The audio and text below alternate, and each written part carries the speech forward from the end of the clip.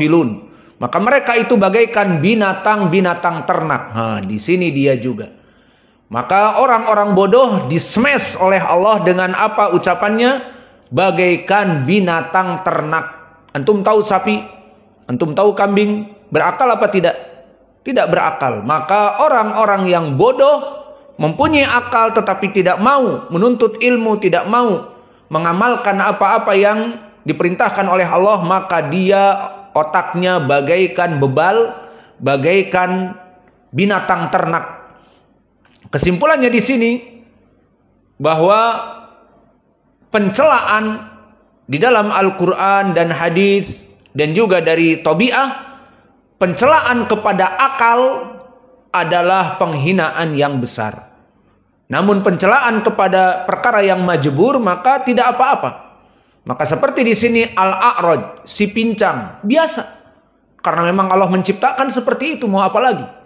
Namun jika seseorang yang badannya sehat, akalnya sehat disebutkan dasar otak udang. Nah, aku disebut otak udang. Udang kecil, otakku kecil. Aku besar, aku berakal. Disebut otak udang, dia akan marah. Karena perkara permasalahan akal adalah perkara yang menghinakan. Maka kalian akan marah jika seseorang di antara kalian tidak hafal kemudian disebutkan dasar bodoh kau. Maka marah dia. Meskipun dia berusaha dan berusaha untuk menghafal tadi tapi memang susah menghafal. Maka jangan dihina seperti itu disebut bodoh. Dia sudah berusaha dan seterusnya. Namun dia disebut dasar sipit. Bangun tidur sama aja matanya seperti itu. Dia akan mengatakan ini ciptaan Allah. Namun di saat disebutkan dasar kamu bodoh, maka ini penghinaan yang keras. Maka Abdurrahman ibnu Hurmuz tidak marah di saat disebut al-a'raj. Justru itu adalah lakob baginya membedakan dari Abdurrahman yang lain. Abdurrahman ibnu Hurmuz al-a'raj, maka dia juga adalah al-madani. Maka dari Abi Zinad anil A'raj kilahuma madanian. Dan bahkan dari Al-Mughirah ibnu Abdurrahman yang saduk tadi madani Quraisy. Maka di sini musalsal bil madaniin. Wa Abu Hurairah aidan madani. Walau kana huwa asluhu min Yaman walakin nazilu Madinah. Bahkan jadi amir Madinah setelah itu. Maka Abdurrahman ibnu Hurmuz al-A'raj al-Madani yang mana dia juga rawi yang di atas sikoh. Dan dia hidup di tobakoh as-salisah. Dan tobakoh as-salisah adalah tobakoh al-wusta minat tabi'i. Maka dia di atas derajat itba'u tabi'in. Dan dia di tobakoh yang ketiga termasuk dari pertengahan para tabi'in. Maka di tobakohnya banyak sekali. Seperti Al-Hasan Al-Basri dari para imam hidup di Tobakoh yang ketiga Muhammad ibnu Sirin dan Abu Burdah anaknya Abu Musa al Ashari di Tobakoh yang ketiga juga.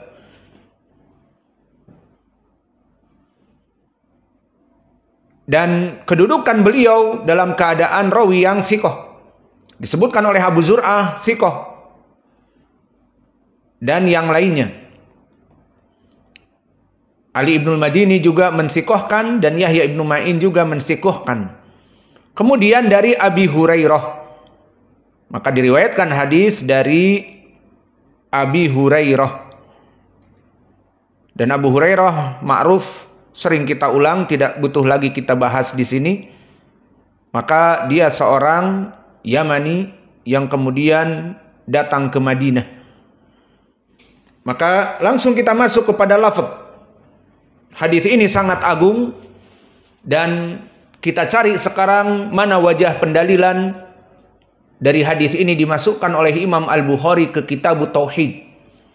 Kita artikan sekarang bahwa Nabi Muhammad sallallahu alaihi wa ala wasallam berkata, Yaqulullah Allah bersabda.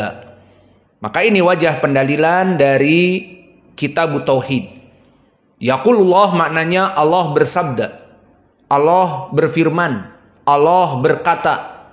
Maka di sini wajah pendalilannya sifat kalam, sifat berbicara untuk Allah Jalla wa.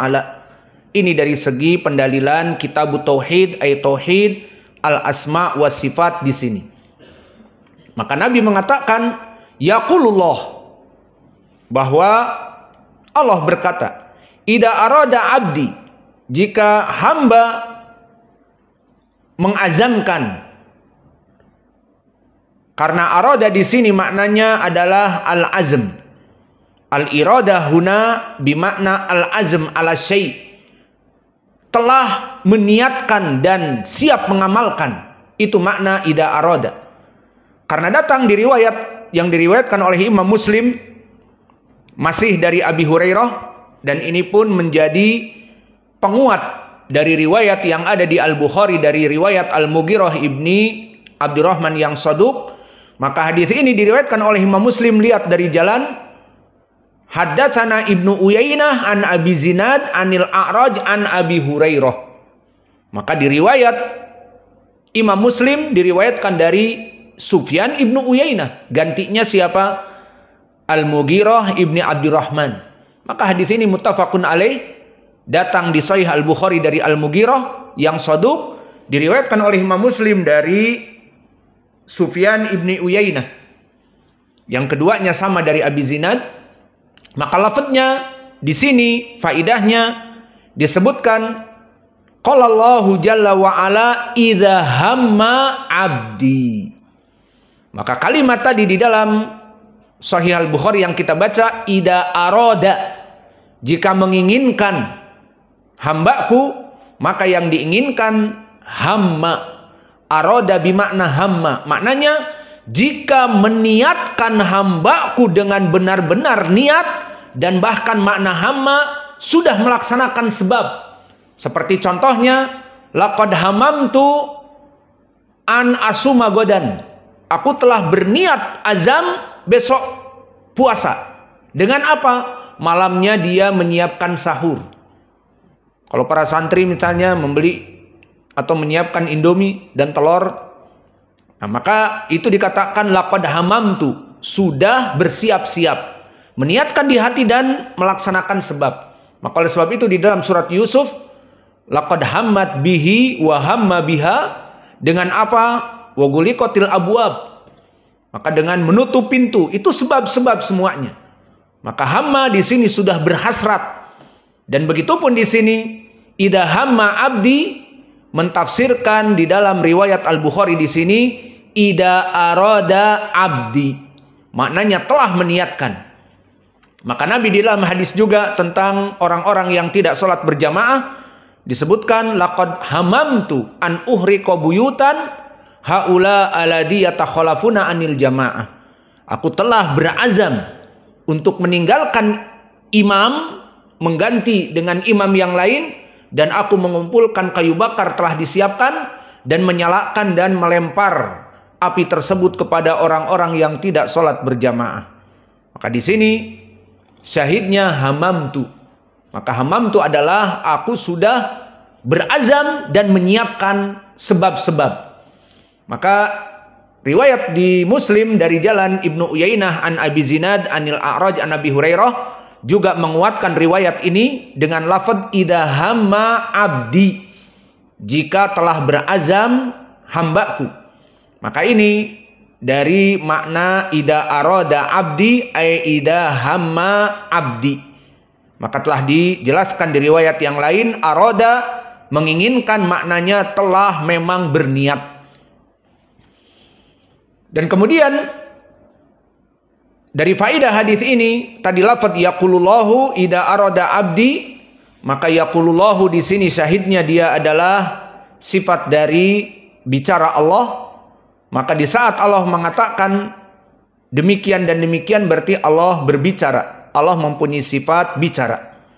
Dan faidah dari hadis ini atau kita artikan dulu secara mujmal Yaqulullahu berkata Allah ida aroda abdi dan makna tadi aroda maknanya ida hamma abdi jika telah berniat dan berazam hambaku an ya'mala sayyi'ah untuk melaksanakan keburukan. Lihat di sini. Keburukan dulu disebutkan. Jika seorang hamba meniatkan melaksanakan keburukan, saya nanti setelah sholat duhur akan melaksanakan keburukan. Pulang ke Sakan dengan cepat sebelum orang-orang datang untuk mengambil barang-barang mereka, uang mereka di laci dan sebagainya misalnya. Maka dia sudah berniat dan sudah berazam. Assalamualaikum, Assalamualaikum, langsung ke Sakan untuk mengambil uang. Karena yang lain masih pada di masjid misalnya.